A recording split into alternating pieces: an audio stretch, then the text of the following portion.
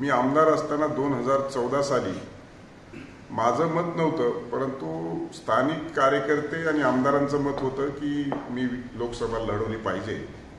आणि ती लोकसभा लढवली पाहिजे असताना मी देखील स्थानिक आमदार आणि सगळ्या लोकांशी चर्चा करून मी देखील इच्छुक झालो होतो. तत्कालीन त्यावेळेस दिलीप गांधी साहेब आणि मी असे दोघांचे इच्छुकामध्ये नाव होते आणि प्रताप ढाकणे देखील होते.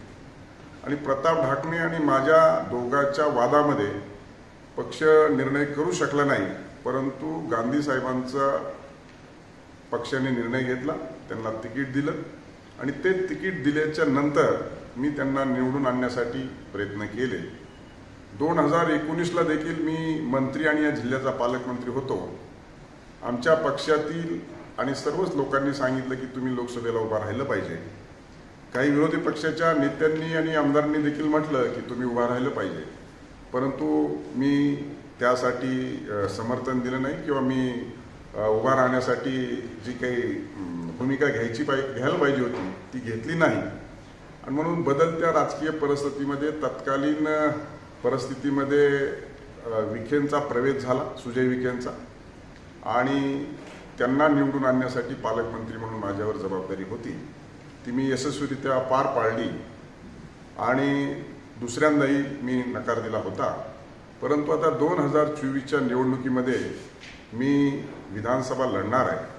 परंतु मी ही माझ्या मनाची तयारी ठेवलेली आहे की आता जर अशी परिस्थिती आली तर लोकसभा देखील लढवायची आणि पक्षाचा आदेश पाळणारा मी कार्यकर्ता असल्यामुळे आता यावेळेस मी एक वर्षच पूर्ण तयारीनिशी लोकसभेला सुद्धा इच्छुक आहे. भाजपचे आमदार राम शिंदे यांनी म्हटलं की मला पण लोकसभेत लढायची इच्छा आहे.